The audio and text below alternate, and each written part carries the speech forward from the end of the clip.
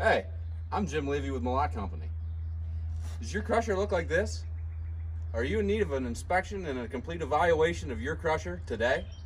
Call Mellott. We'll hook you up.